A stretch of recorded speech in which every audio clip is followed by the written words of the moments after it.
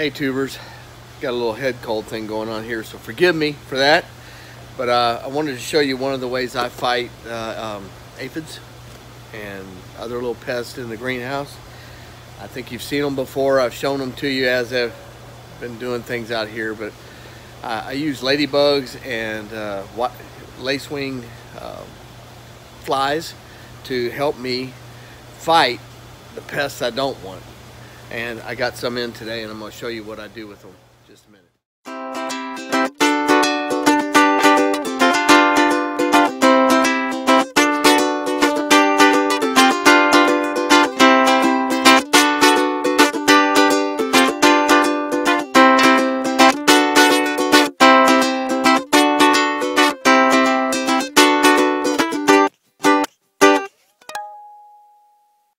All right, they come U.S. mail and I usually get them uh, off of Amazon. But a lot of times uh, they'll come from companies like Arbico but I get the best deal on the, the ladybugs I don't think I've had a bad batch yet from anywhere. But uh, you can get them pretty cheap. They come like this. Or they come in a little tub. You'll get them sometimes in a, a tub but you can see the little guys in there, they're all crawling around. I'm gonna cut these things loose in here and let them just have at it.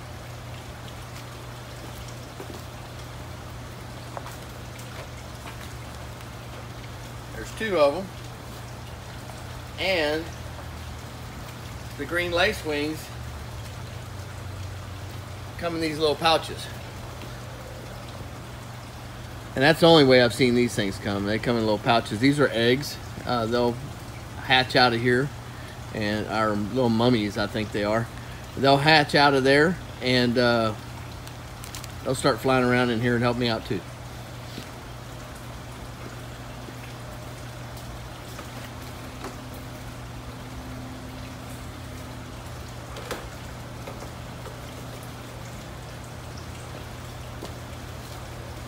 One thing I forgot, I'm gonna spray the plants down, kind of get them wet a little bit over there. They do um, want to get a drink of water when you first release them, so it's a good idea to give them something. I got a lot of water in here, but if you put it right on the plants, they'll go to those plants and start drinking the water, and they'll uh, acclimate themselves with this uh, this building.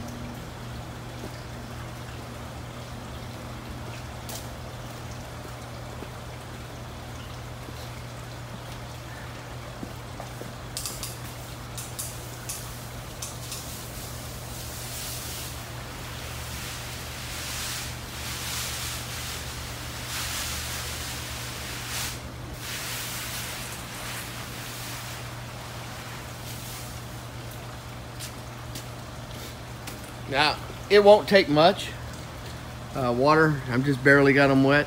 Uh, don't typically like to do that with the plants in here, but uh, they get wet anyway because this place rains on them.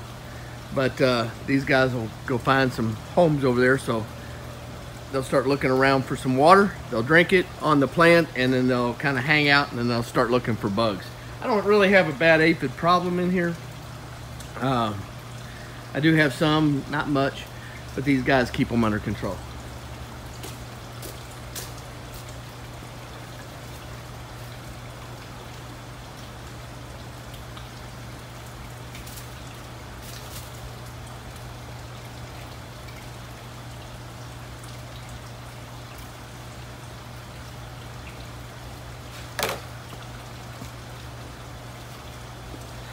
You kind of just make sure that you don't get any bugs in the process. You don't want to hurt them.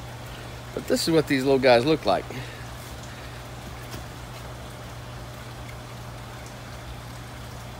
That's the kind of ladybug you like.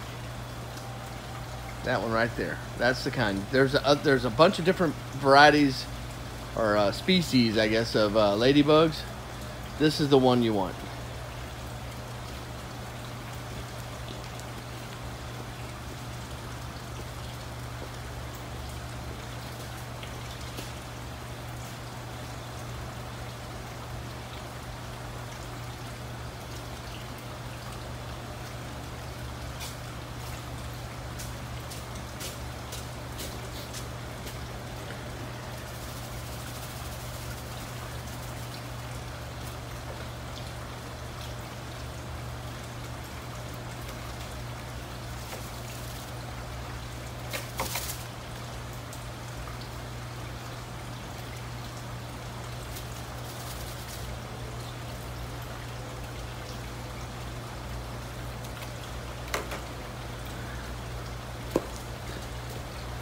I'm gonna set these over here.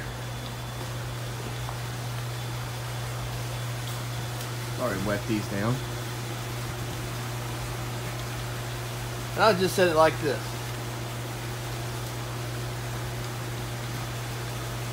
And let them work themselves out as they go.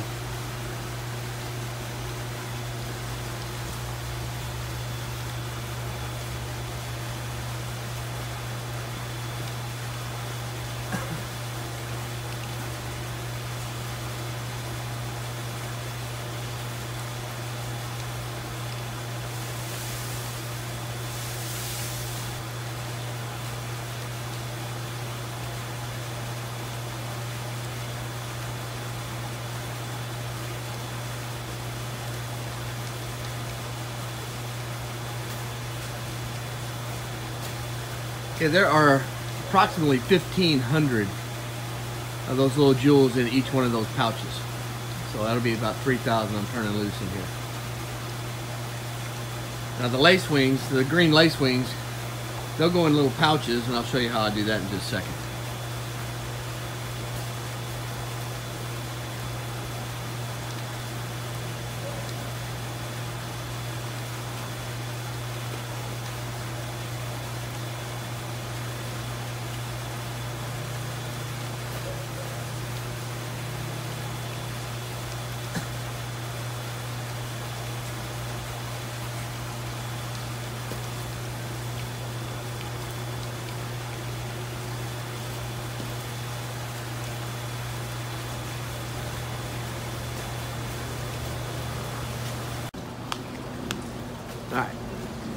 These are the green lace wing. You can see some of the eggs up at the top here, I think. Anyway, they're mixed in these rice hulls. I'm gonna put them in these little bags and we're gonna hang them in different spots around this greenhouse.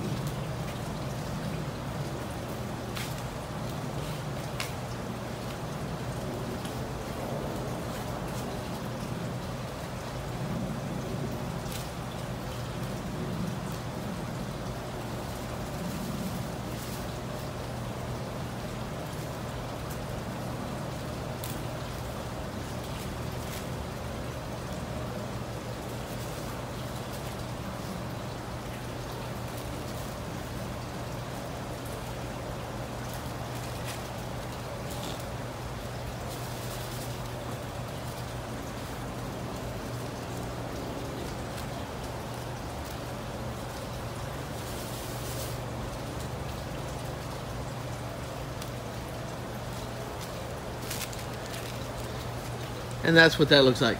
Uh, there's approximately somewhere in the neighborhood of 2,500 of these eggs in here.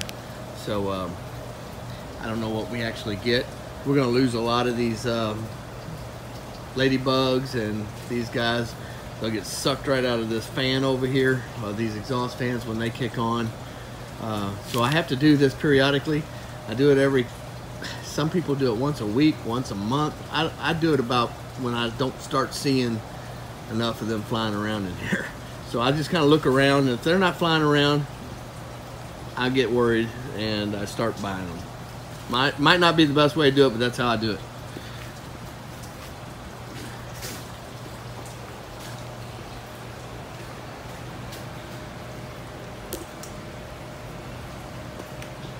All right, here's one of those little hooks. I don't know if you can see that. I just kind of hook it in here.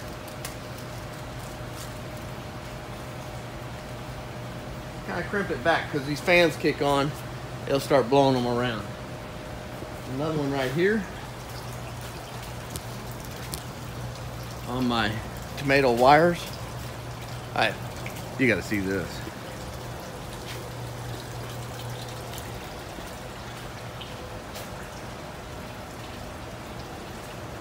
All the way at the top, they're walking across. I don't know if you can see that up there or not. They're walking across the uh, the wires. They're already searching.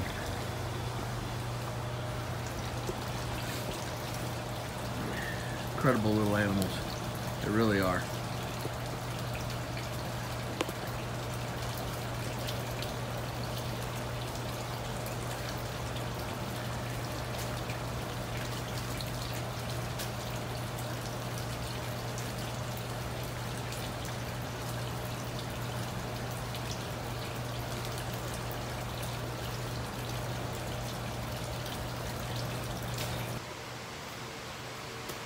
All right, showed you earlier the release of the bugs, the good bugs, to take care of my bad bugs in here, but I wanted to show you something else.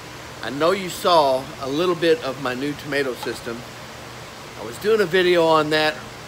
I was gonna do a whole video on it, but I'm gonna just kind of condense it onto this and show you what I'm doing with my video, or with my uh, tomatoes now. And I'm hoping to incorporate that into about eh, 2,500 square foot of greenhouse out here. Just completely used this system instead of what I used last year.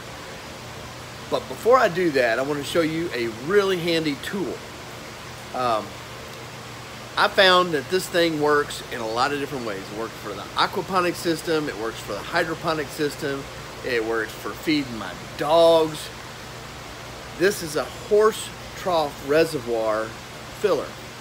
And what you do, it's got a little spot here where you can put a hose and have that hose in there.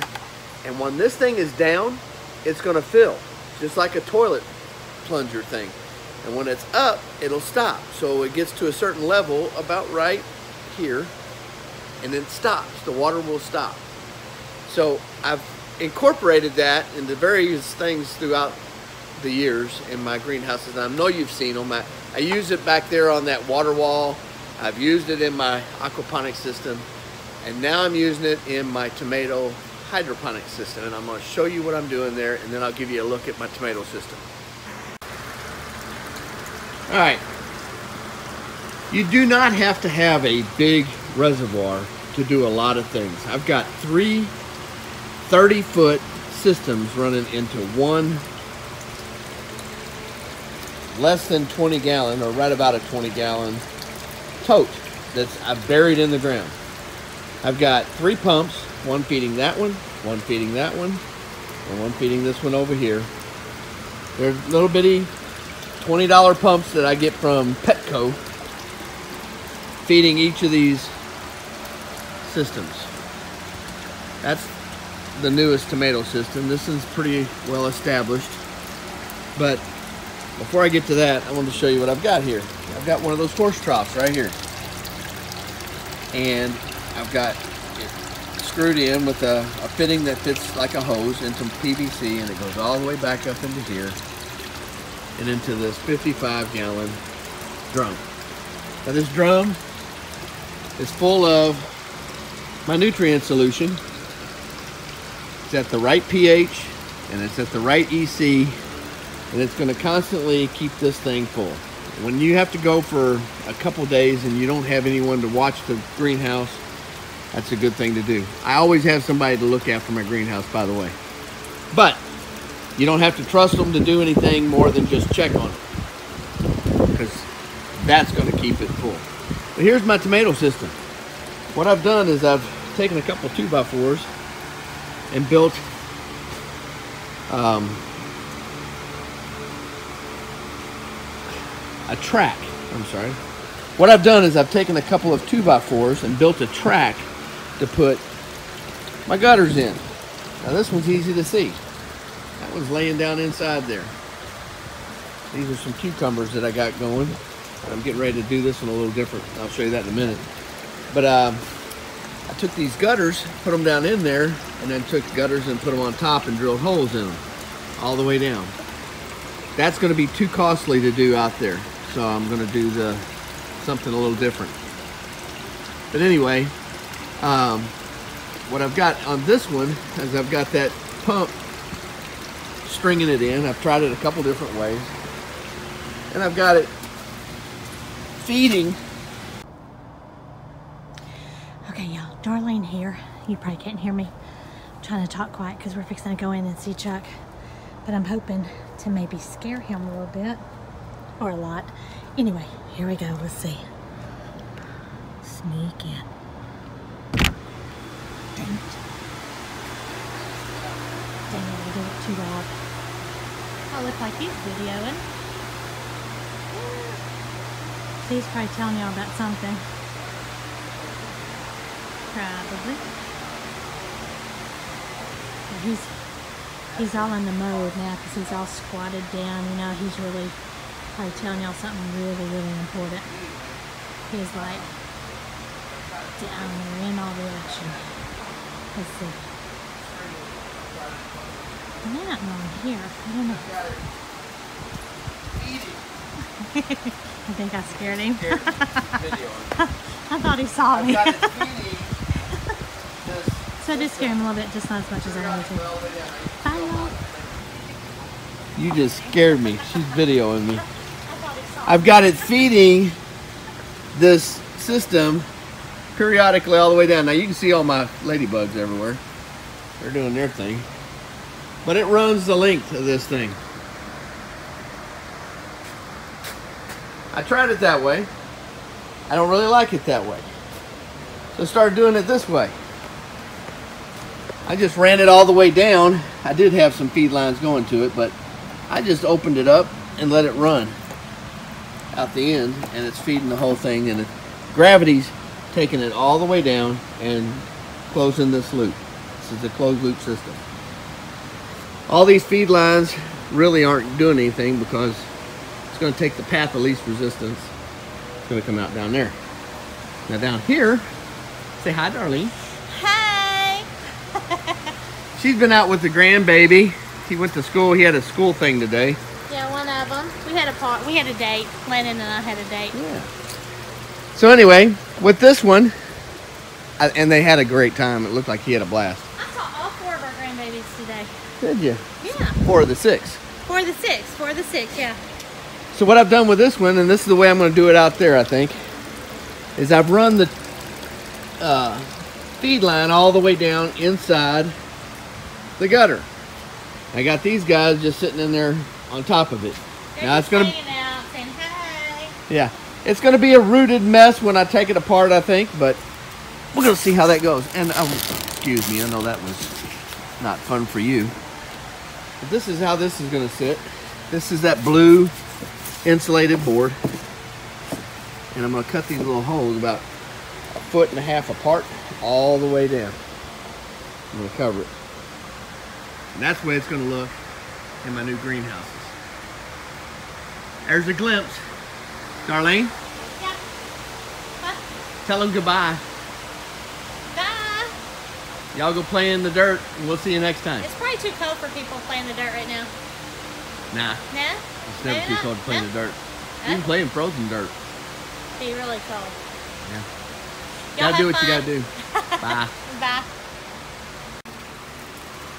You can see these are really growing, and that one's about five foot tall.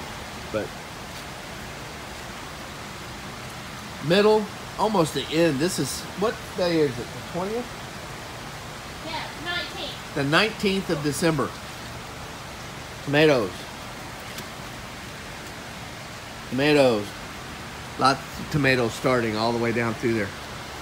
We're gonna have tomatoes in a couple weeks.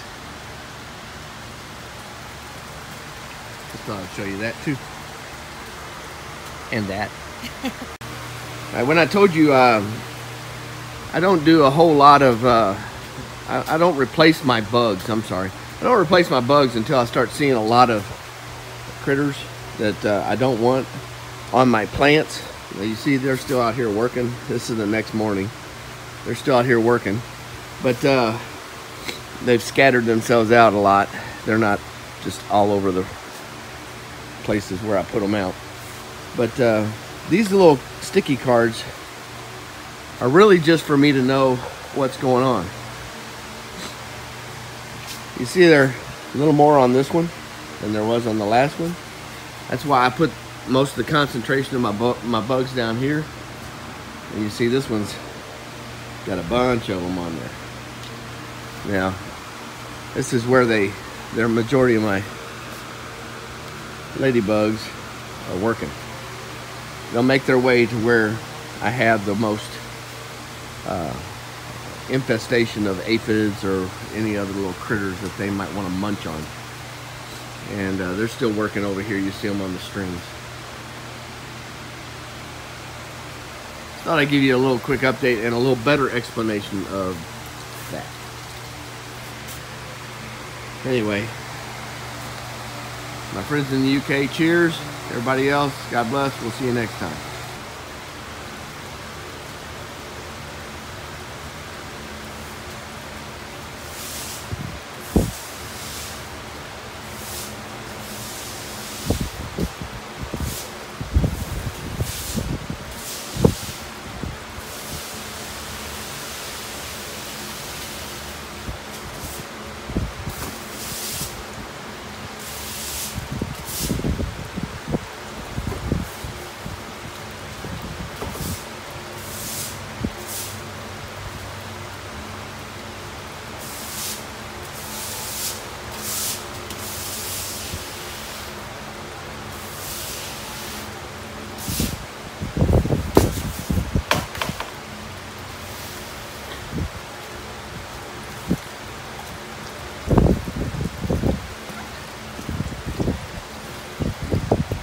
Not many folks get to do this. Trim up their tomato plants in the middle of December.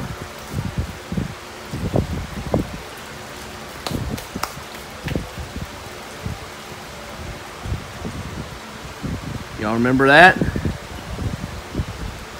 Trimming up your green tomatoes, your green tomato plants rather, in summertime. This is awesome. This is cheating winter. God bless.